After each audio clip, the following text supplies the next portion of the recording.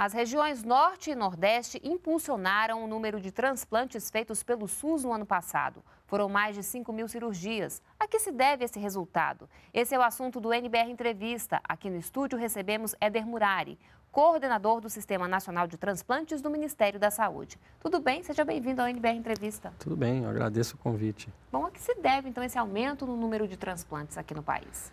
É, nos últimos seis, sete anos, o Brasil vem progressivamente aumentando o número de cirurgias de transplantes, tanto de órgãos sólidos quanto a partir de tecidos. O transplante que mais cresce no Brasil é o transplante de córnea. Isso tem feito com que várias regiões do Brasil consigam zerar a fila de córnea, como, por exemplo, o Distrito Federal, São Paulo, Paraná. E também tem crescido agora, e essa é uma boa notícia, ah, os transplantes mais complexos, que são aqueles provenientes dos chamados órgãos sólidos. Quais seriam? O coração, o fígado, o rim. É, e o Nordeste se destaca nesse tipo de transplante, que são aqueles mais complicados que antigamente eram só feitos nas regiões mais da região sul e sudeste do Brasil. E por que? A gente pode entender que essas regiões estão recebendo um atendimento especial, mesmo atendimento aí da, das regiões sul e sudeste? Essa mesma atenção, essa mesma qualidade agora está chegando ao norte e nordeste, é isso? Na realidade, o, o número absoluto ainda é preponderante no norte, no, no sul e no sudeste. Contudo, esse esforço do Ministério de descentralizar o acesso a essa terapia tem surtido efeitos. Na Bahia houve um número enorme é, de, de transplantes renais, quer dizer, um aumento expressivo na medida que se faziam muitos poucos transplantes renais na Bahia. O Ceará, hoje, no Nordeste, se destaca como uma região que está puxando o ranking nacional na área de transplantes de coração, também de fígado. Nós tivemos no ano de 2012 mais de 1.700 transplantes de fígado em todo o país e uma grande parte aí realizados pela região Nordeste. É, no transplante de coração também, é, o Nordeste, através também do estado do Ceará, vem se tornando um polo para esse tipo de cirurgia, coisas que antigamente você via o mapa do país e só ocorria uh, na região sul e sudeste do Brasil. Ainda temos grandes dificuldades, sobretudo no norte, eh, em regiões do Acre, Rondônia, Roraima e também aqui no Mato Grosso do Sul e Goiás, mas de maneira geral nós estamos conseguindo romper essa disparidade geográfica. Quais são as principais cirurgias feitas? Quais são as mais comuns? O transplante feito de maneira mais frequente é o transplante de córnea, que é a partir da, do tecido corneano doado. E o segundo vem o transplante renal. Para você ter uma ideia, o transplante de rim, nós fizemos em 2012 mais de 5 mil transplantes renais. Isso representa mais de um terço de todos os transplantes renais do Cone Sul, da América Latina, da, do Caribe, todos os países da região da América do Sul. Provavelmente, do ponto de vista público, ou seja, integralmente financiado pelo sistema público de saúde, o país hoje, na área de transplante renal, é o país que mais faz transplantes no mundo. E qual é o procedimento mais complicado? Eu diria que o mais complexo de todos é o transplante de medula óssea a partir de doador não aparentado e o transplante de pulmão. Mas, mesmo esses transplantes, como eu falei, nós estamos conseguindo fazer em regiões mais distantes e que antigamente não, não era possível. E o SUS está preparado para fazer qualquer tipo dessas cirurgias?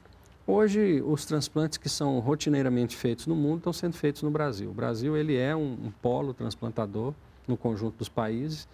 É, alguns procedimentos novos ainda não temos autorização para se fazer, nem aqui, em outro, nem em outros países do mundo. Por, por exemplo? Por exemplo, o transplante de face total, é uma coisa que é ainda uma discussão.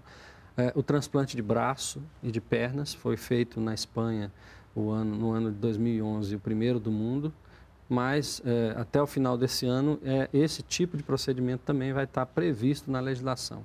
Uma tarefa que nós estamos é, tendo agora é de rever toda a legislação dos transplantes e eu espero que até o final desse ano nós tenhamos um novo regulamento técnico que vai reger todas essas novas terapêuticas. Agora, não é qualquer hospital que está preparado para fazer um transplante, não, é não é isso? de modo algum. Onde você tem cirurgia de transplante, procedimento de transplante, esse hospital ele melhora o conjunto da atenção à saúde.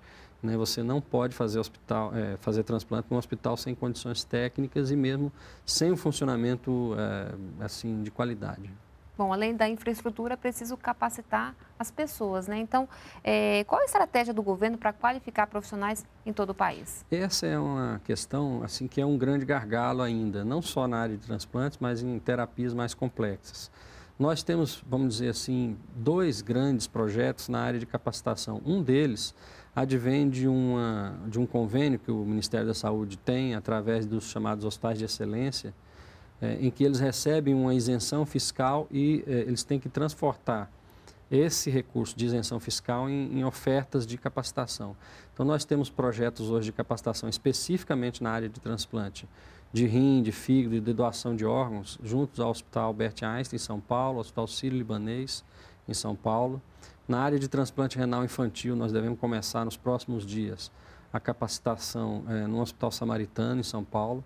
Então, realmente, são projetos que têm uma dimensão em que o resultado vai aparecer daqui dois ou três anos, porque esses cirurgiões estão sendo treinados, esses clínicos estão sendo treinados no que há de mais avançado nessa área. Uh, e o segundo grande tema dessa área de capacitação é que no ano, no finalzinho do ano 2002, o Ministério da Saúde instituiu a chamada tutoria em transplantes. O que, que é isso? A tutoria em transplantes são hospitais mais uh, bem desenvolvidos nessa área vão ser tutores de regiões menos desenvolvidas. Com isso é que a gente quer é, que essa ação educativa e de formação possa se estender para a região norte, para o centro-oeste é, e para as regiões menos é, assim aquinhoadas de profissionais mais habilitados. Posso citar um exemplo, né? nós devemos é, em breve iniciar tutorias em, em, várias cidades do Brasil, em vários estados. O Mato Grosso do Sul vai receber tutoria. É, mesmo em cidades e estados desenvolvidos, mas que não tem aquele determinado tipo de transplante, nós estamos fazendo com que o transplante, é, é, a pessoa, por exemplo, pode ter no seu estado o transplante do coração, mas não tem o de fígado. E aí a gente vai, naquele estado, aquele tipo de transplante que é preciso, nós vamos indicar um centro tutor mais capacitado, com uma expertise maior, para oferecer esses cursos e treinar. Os profissionais desses grandes centros vão viajar aos centros menos desenvolvidos e os médicos, enfermeiros e as pessoas que trabalham nos centros menos desenvolvidos vão receber recursos para poder ir aos grandes centros se capacitar. Todo esse recurso vai ser financiado pelo Ministério da Saúde, nós vamos ofertar esse, esse, esse recurso para os centros tutores para que possa se multiplicar nas regiões. Então, a intenção é que o paciente tenha o mesmo atendimento, independentemente da região em que ele se é, encontra. Essa é, uma, é um preceito do SUS, né? A integralidade no atendimento ela pressupõe que, independente do local em que você viva, se você precisar do sistema de saúde, você tem condições é, de receber um atendimento de qualidade. A gente sabe que isso é um caminho longo a percorrer ainda, mas os números estão mostrando é, que nós já estamos conseguindo fazer uma inflexão aí nessa curva. Em média, qual é o tempo para a realização de um transplante?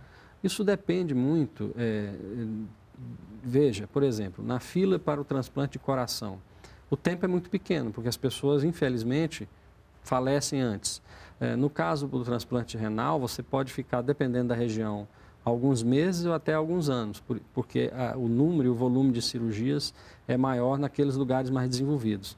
Então, naquele lugar em que você tem muito transplante de rim, esse lugar é vítima do seu próprio sucesso, porque vem pessoas para fazer transplante de todas as regiões e acaba aumentando o tempo né? de espera. Uhum. Um exemplo, por exemplo, Brasília recentemente começou o transplante de coração e em poucos meses zerou a fila das pessoas que precisavam de transplante de coração em Brasília. E não zerou porque faleceram na fila, zerou porque eram poucos pacientes e todos foram atendidos. Esse é um aspecto. E o outro aspecto que varia o tempo, por isso que não é muito certo a gente fazer medir isso em, em dias, é da necessidade, da capacidade da doação, porque só tem transplante se houver doação do órgão.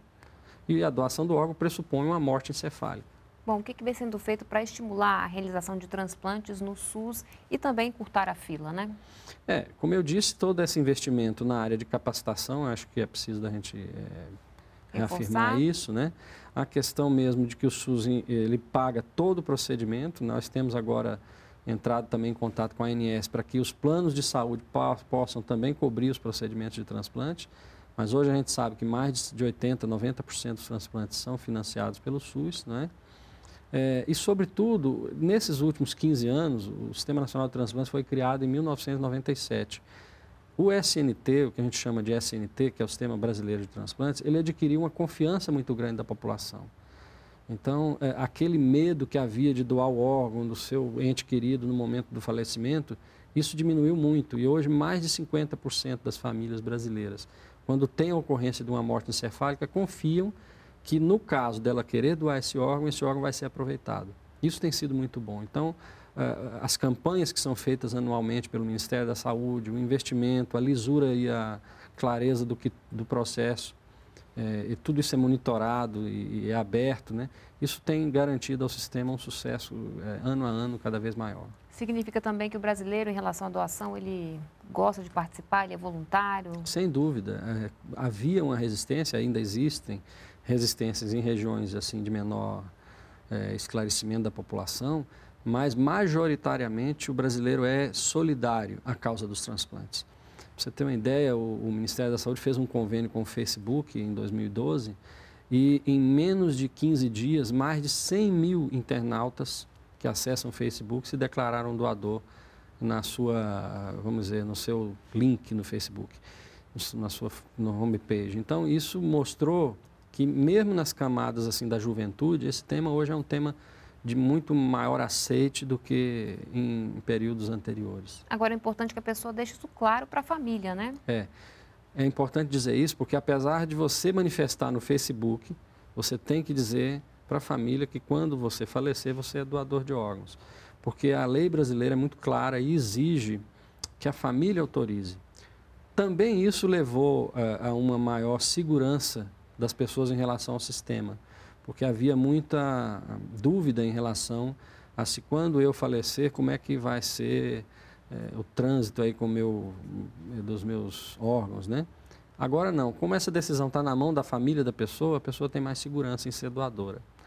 É, então é importantíssimo que as pessoas se comuniquem internamente né, para dizer se essa fatalidade ocorrer com algum de nós e se houver necessidade naquele momento, a pessoa pode se manifestar doadora. Necessariamente a pessoa que vai doar tem que estar na mesma região de quem vai receber não, esse órgão? Não, não. É, na realidade, todas as regiões do país é, têm organizado as suas listas de espera. Contudo, é, em, em, se na região determinada, naquele momento, por exemplo, se você teve o falecimento de uma criança de 10, 12 quilos, é uma criança pequena, em que o coração é muito pequeno, e naquele momento, na lista daquela região do falecimento, não tem nenhuma criança com condições clínicas de receber, esse órgão ele é ofertado para uma central nacional que funciona em Brasília e a central, através de um sistema de computador informatizado, vai alocar esse coração é, numa, num tempo rápido para que o órgão seja aproveitado. Claro que isso tem que ser muito rápido, dependendo do órgão, ele tem que ser é, doado, em, é, aproveitado um, em maior ou menor tempo. E temos conseguido cada vez mais transferir órgãos é, de uma região para outra. Por exemplo, rins doados em Rondônia hoje vão para o Rio Grande do Sul e são aproveitados. O que a gente espera é chegar um dia em que os órgãos não viajem mais, né? Que o brasiliense que doe aqui fique por, fique por né? Brasília, né? a não ser que não tenha mesmo necessidade, mas que condições estruturais de capacitação e de atenção hospitalar eh, sejam as mesmas para qualquer região do Brasil. Essa política de descentralização ela veio para ficar? Eu não tenho dúvida disso. É uma exigência da sociedade, é uma orientação dessa gestão do Ministério da Saúde e é um direito das pessoas que, que, que têm que ter acesso ao serviço de saúde independente de onde elas vivam. Ok, muito obrigada pela sua participação e até uma próxima oportunidade. Ah, eu que agradeço. Muito obrigado. Outras informações na página do Ministério da Saúde. E para rever essa entrevista é só entrar no endereço que aparece agora aí na sua tela. Muito obrigada pela companhia e a gente se vê no próximo programa. Continue aqui na NBR, a TV do Governo Federal.